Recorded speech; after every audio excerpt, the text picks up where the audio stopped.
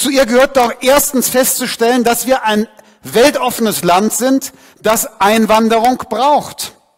Man kann doch nicht Flüchtlinge gegen Fachkräfte ausspielen. Das sind völlig verschiedene Paar Schuh.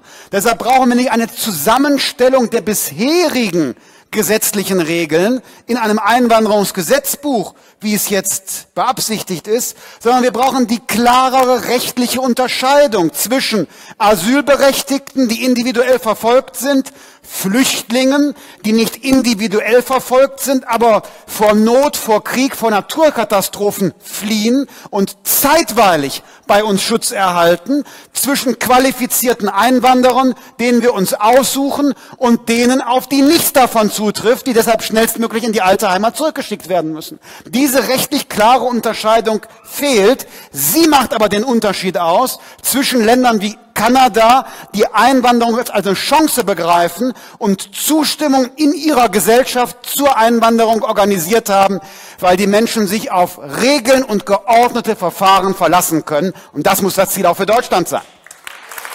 Und zum